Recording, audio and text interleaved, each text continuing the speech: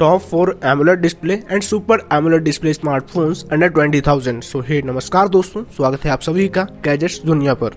अगर आपको स्मार्टफोन्स पर कंटेंट कंज्यूम करना अच्छा लगता है तो आप ऑलरेडी जानते होंगे कि स्मार्टफ़ोन में डिस्प्ले का रोल कितना बड़ा होता है। बिकॉज़ आपको जो स्मार्टफ़ोन का एक्सपीरियंस फील करना है, वो तो डिस्प्ले के साथ ही करना है। चाहे फिर वीडियो देखनी हो, या फिर गेम खेलना हो, या फिर कुछ अदर काम करने हो। और डिस्प्ले जितनी अच्छी होगी, उतना ही ज़्यादा आपको अच्छा एक्सपीरियंस मिलेगा स्मार्टफ़ोन चलाने में। और एंड्रॉइड स्मार्टफ़ोन में सुपर एमुलेट डिस्प्ले ही स्मार्टफ़ोन में सबसे अच्छी डिस्प्ले मानी जाती है। सो अगर आपको भी बढ़िया डिस्प्ले क्वालिटी वाला एक स्मार्टफ़ोन लेना है बीस के बजट में तो आप इस वीडियो को लास्ट तक देखिएगा प्रॉपर पूरी इन्फॉर्मेशन के लिए। और हाँ अगर आप इस चैनल पर नए हैं तो चैनल को सब्सक्राइब कर लीजिए ताकि आपको फ्यूचर की अपडेट्स भी मिलती रहें। तो चलिए वीडियो को स्टार्ट कर लेते हैं। अगर हम बात करें हमारी लिस्ट के फ़र्स्ट स्मार्टफ़ोन के बारे में तो वो आता है स्वामी की तरफ़ से मी इलेवन आई स्मार्टफ़ोन और ये जो स्मार्टफ़ोन है जब लॉन्च हुआ था, तब तकरीबन ये स्मार्टफ़ोन तीस, बत्तीस हज़ार के प्राइस में लॉन्च हुआ था।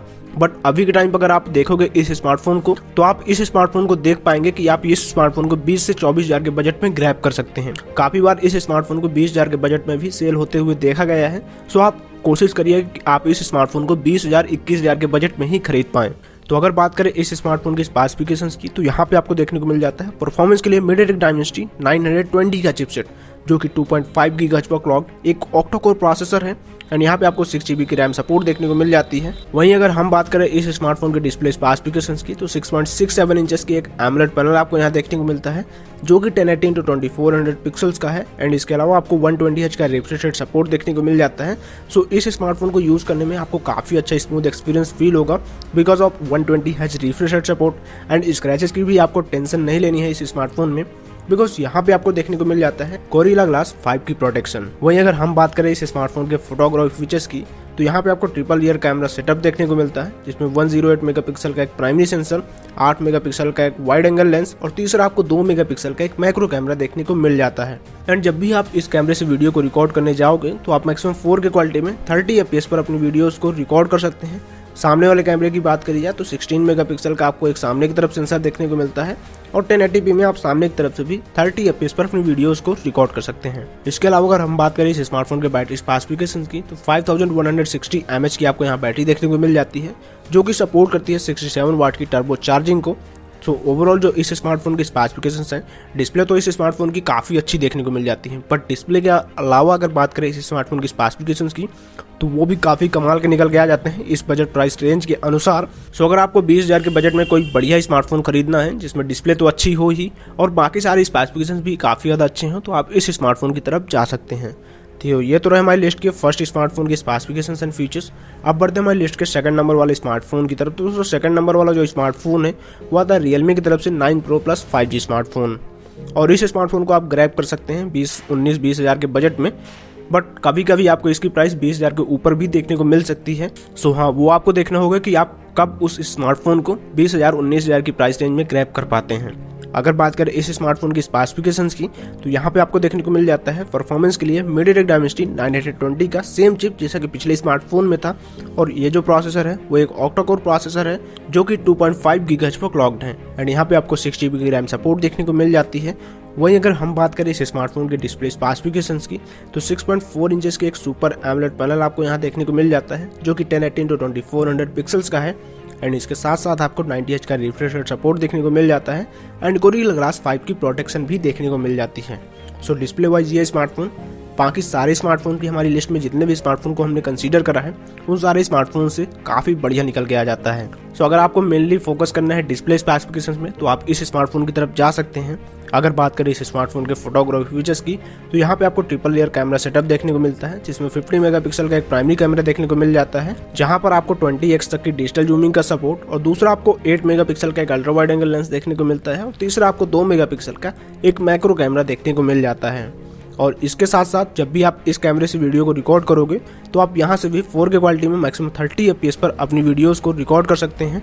अगर बात करी जाए सामने वाले कैमरे की तो सामने की तरफ़ आपको 16 मेगापिक्सल का एक सेंसर देखने को मिल जाता है, जो कि 16 मेगापिक्सल का है। एंड यहाँ से आप जब भी वीडियोस को रिकॉर्ड करने जाओगे तो आप मैक्सिमम 1080p में 30 एफ़ पर यहाँ से भी वीडियोस को रिकॉर्ड कर सकते हैं।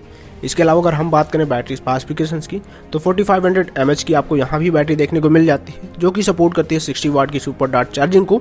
सो ओवरऑल जो इस स्मार्टफ़ोन के स्पेसिफिकेशन है, वो भी काफ़ी बढ़िया निकल के आ जाते हैं। बाकी अदर स्मार्टफोन्स के कंपैरिजन में डिस्प्ले तो अच्छी आपको देखने को मिलती ही है। उसके अलावा भी आपको इस स्मार्टफ़ोन में स्पेसिफिकेशन बढ़िया देखने को मिल जाते हैं। तो ये तो रहे हमारी लिस्ट के सेकंड नंबर वाले स्मार्टफ़ोन की स्पेसिफिकेशन एंड फीचर्स अब बढ़ते हैं हमारी लिस्ट के थर्ड नंबर वाले स्मार्टफ़ोन की तरफ़। तो दोस्तों थर्ड नंबर वाला जो स्मार्टफ़ोन है वो आता है मोटरोला की तरफ़ से जी एटी टू स्मार्टफ़ोन अगर बात करें इस स्मार्टफ़ोन की प्राइसिंग की, तकरीबन आपको यह स्मार्टफ़ोन 18 से 20 हज़ार के बीच में देखने को मिल जाएगा। एंड इसके अलावा अगर बात करें इस स्मार्टफ़ोन की स्पेसिफिकेशन की तो यहाँ पे आपको देखने को मिलता है परफॉर्मेंस के लिए कोयल कैम स्नैपड्रैगन 695 का प्रोसेसर जो कि एक 2.2 पॉइंट पर क्लॉक एक ऑक्टा कोर प्रोसेसर है। एंड इसके अलावा आपको सिक्स जी की रैम सपोर्ट देखने को मिल जाती है। वहीं अगर हम बात करें डिस्प्ले स्पेसिफिकेशंस की तो 6.6 पॉइंट इंचेस की पी ओ डिस्प्ले देखने को मिल जाती है। अब आप बोलोगे कि यहाँ पे पी ओ डिस्प्ले है तो इसे स्मार्टफ़ोन को क्यों कंसिडर किया है? तो मैं आपको बता दूँ कि ये एमोलेट के कंपैरिजन में काफ़ी बढ़िया डिस्प्ले होती है और गूगल भी अपने स्मार्टफोन्स को जो लॉन्च करता है, उसमें यही डिस्प्ले यूज़ किया करता है। सो ये डिस्प्ले भी एमोलेट डिस्प्ले के कंपैरिजन में काफ़ी बढ़िया डिस्प्ले मानी जाती है। एंड ये जो डिस्प्ले होगी, वो ten eighteen to twenty four hundred pixels की होगी। एंड यहाँ पे आपको वन ट्वेंटी एच का रिफ्रेश रेट सपोर्ट भी देखने को मिल जाएगा। सो काफ़ी बढ़िया स्मूथ एक्सपीरियंस आपको यहाँ पे भी फील होने वाला है, जब भी आप इस स्मार्टफ़ोन में कुछ स्क्रॉल करोगे या कुछ भी यूज़ करोगे। वहीं अगर हम बात करें इस स्मार्टफ़ोन के फोटोग्राफ फीचर की तो यहाँ पे आपको ट्रिपल ईयर कैमरा सेटअप देखने को मिलता है, जिसमें 50 मेगापिक्सल का एक प्राइमरी सेंसर 8 मेगापिक्सल का एक सेकेंडरी कैमरा और तीसरा आपको 2 मेगापिक्सल का एक माइक्रो कैमरा देखने को मिल जाता है विद एलईडी फ्लैश। एंड जब भी आप इस कैमरे से वीडियोस को रिकॉर्ड करोगे तो आप मैक्सिमम टेन में थर्टी एफ़ पर अपनी वीडियोस को रिकॉर्ड कर सकते हैं। सामने वाले कैमरे की बात करिए तो 16 मेगापिक्सल का आपको एक सामने की तरफ़ भी सेंसर देखने को मिल जाता है और सामने की तरफ़ से भी आप टेन टीवी में थर्टी एफ़ पर अपनी वीडियोस को रिकॉर्ड कर सकते हैं। बात करें अगर इस स्मार्टफ़ोन के बैटरी स्पेसिफिकेशंस की तो 5000 थाउज़ेंड की आपको यहाँ पे भी बैटरी देखने को मिल जाती है, जो कि 30 वाट की टर्बो पावर चार्जिंग सपोर्ट के साथ आती है। सो ओवरऑल इस स्मार्टफ़ोन के भी स्पेसिफिकेशंस काफ़ी बढ़िया देखने को मिल जाते हैं, और मोटरोला एक क्लीन यू पर वर्क करता है सो आपको इस स्मार्टफ़ोन में ब्लोडवेयर भी देखने को नहीं मिलते हैं, और एक क्लीन यूआई आपको इस स्मार्टफ़ोन में देखने को मिल जाता है। सो ये तो रहे हमारी लिस्ट के थर्ड नंबर वाले स्मार्टफ़ोन की स्पेसिफिकेशन एंड फीचर्स अब बढ़ते हमारी लिस्ट के लास्ट और फाइनल स्मार्टफ़ोन की तरफ़। तो दोस्तों लास्ट स्मार्टफ़ोन जो आता है, वो आता है आई की तरफ़ से जी सेवन स्मार्टफ़ोन और ये जो स्मार्टफ़ोन है, अभी एक दो महीने पहले ही लॉन्च हुआ है।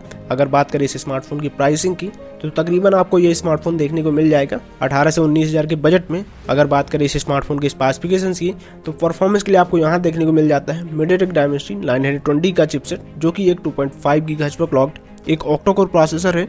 एंड यहाँ पे आपको ये जो प्रोसेसर है वो सिक्स जी रैम सपोर्ट के साथ आता है। इसके अलावा अगर बात करें इस स्मार्टफ़ोन की डिस्प्ले स्पेसिफिकेशन की तो सिक्स पॉइंट इंचेस की एक एमुलेट पैनल आपको यहाँ पे भी देखने को मिल जाता है, जो कि 1080 eighteen to twenty four hundred pixels के साथ आता है।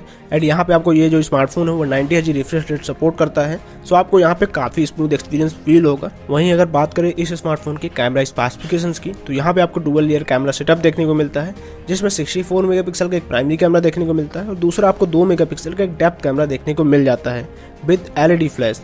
एंड जब भी आप इस कैमरे से वीडियोज़ को रिकॉर्ड करोगे ना तो आप यहाँ से मैक्सिमम फोर की क्वालिटी में थर्टी एफ़ पर अपनी वीडियो को रिकॉर्ड कर सकते हैं। सामने वाले कैमरे की बात करिए तो 16 मेगापिक्सल का आपको एक सामने की तरफ़ भी सेंसर देखने को मिलता है और सामने की तरफ़ से भी आप टेन में थर्टी एफ़ पर अपनी वीडियोस को रिकॉर्ड कर सकते हैं। वहीं अगर हम बात करें इस स्मार्टफ़ोन की बैटरी स्पेसिफिकेशन की तो 4500 mAh की आपको यहाँ बैटरी देखने को मिल जाती है। जो कि सपोर्ट करती है 44 वाट की फ्लैश चार्जिंग को। सो बजट के अनुसार इस स्मार्टफ़ोन की भी स्पेसिफिकेशंस काफ़ी बढ़िया निकल गया जाते हैं। और इसका जो पिछला एक वेरिएंट था आई क्यू जी सिक्स वो स्मार्टफ़ोन इंडिया मार्केट में काफ़ी ज़्यादा सेल हुआ था और काफ़ी अच्छी रेटिंग मिली थी उस स्मार्टफ़ोन को। सो उसी के सक्सेसर में इस स्मार्टफ़ोन को लॉन्च करा गया है। सो जिनको भी आई क्यू वीवो वीवो का ही है स्मार्टफ़ोन है। सो जिनको भी आई क्यू वीवो स्मार्टफ़ोन पसंद है तो वो लोग इस स्मार्टफ़ोन को बाय कर सकते हैं। सो ये तो रहे टॉप फोर स्मार्टफ़ोन जो सुपर डिस्प्ले क्वालिटी के साथ आते हैं। सो आप इनमें से किसी भी स्मार्टफ़ोन को कंसीडर कर सकते हैं। अगर आपको अच्छी डिस्प्ले वाला स्मार्टफ़ोन लेना है बीस हज़ार के बजट में सो आई होप आपको इस वीडियो से काफ़ी कुछ सीखने को मिला होगा और काफ़ी इन्फॉर्मेशन मिल गई होगी कि कौन सा स्मार्टफ़ोन आपको बाय करना चाहिए। ये कौन सा स्मार्टफ़ोन आपको नहीं बाय करना चाहिए। सो अगर आपको इस वीडियो से कुछ भी सीखने को मिला हो तो इस वीडियो को सिंपली कर दीजिएगा लाइक और चैनल कर दीजिए सब्सक्राइब तो इस वीडियो में इतना ही। मिलते हैं अगली ऑनलाइन टेस्टिंग वीडियो में। तो तब तक के लिए राधे राधे।